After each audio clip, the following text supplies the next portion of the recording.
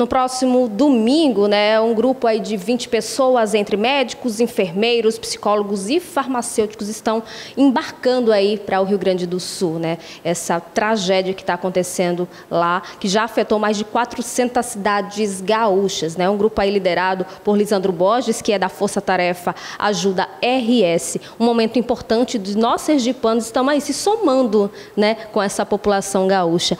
Uma iniciativa muito importante, né? Próximo domingo, um grupo sendo de 20 pessoas, 10 né, aí da Força Nacional do SUS e também as outras 10 da ajuda humanitária. Um momento importante dos sergipanos aí contribuir a ajudar essa população que está precisando bastante nesse momento. Com certeza, eu acho que todos nós que podemos fazer a nossa parte, contribuir com nossos irmãos gaúchos. Eu sou gaúcho de Santa Maria e estou há 12 anos aqui em Sergipe, sou cidadão sergipano e aracajuano, né, com muito orgulho, amo essa terra, construí meu lar aqui, mas não posso esquecer das minhas raízes, tenho familiares, parentes lá que estão passando por muita necessidade e é o momento de a gente ser solidário, né? Então voltar a olhar ao outro e irmos lá numa segunda etapa, que é o que? As águas já estão baixando e agora os voluntários da primeira etapa estão retornando às suas atividades, aos seus trabalhos. E as pessoas estão desamparadas. Então eu tenho albergues, por exemplo, que estão, tem 600 pessoas.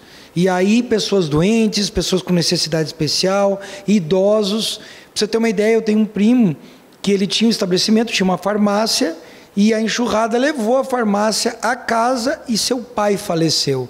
Então ele ficou, ele estava conversando comigo. Eu perdi o sentido da vida, porque eu não tenho mais trabalho, subsistência, eu não tenho mais um lar, uma casa para voltar e eu perdi o meu pai. Então veja o que uma enchente pode destruir em um, passar, num piscar de olhos, né? Então é isso que a gente vai tentar, né, humildemente, com esse grupo, levar apoio psicológico social, o, o, o, apoio médico, o apoio farmacêutico, os medicamentos estão chegando.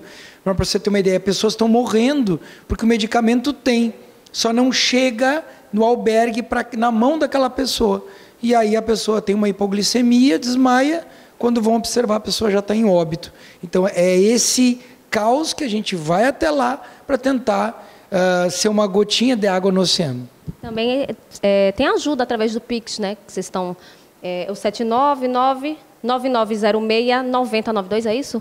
Isso, 799 9906 9092. Está no meu nome, o Pix, é por ser o coordenador do grupo e nós precisamos nos transportarmos de Caxias do Sul até Porto Alegre, região de São Leopoldo e Canoas. Esse transfer eu não tenho, eu vou ter que pagar o transfer. A alimentação, porque eu já fui informado que não existe alimentação suficiente e a hospedagem.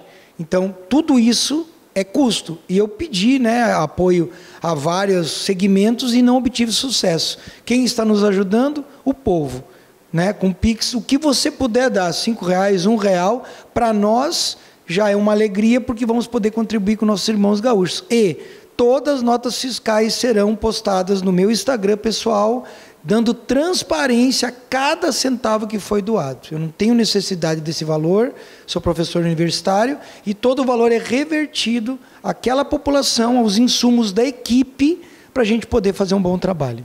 Parabéns pela iniciativa, muito obrigada pelas informações. Está aí, o número está aqui na tela, puder fazer a sua contribuição para ajudar, né? Essa ajuda aí para os sergipanos que estão aí em viagem para o Rio Grande do Sul e ajudar esses irmãos gaúchos. Lembrando que foram mais de 400 cidades afetadas, né? A gente fica por aqui, segue aí no estúdio.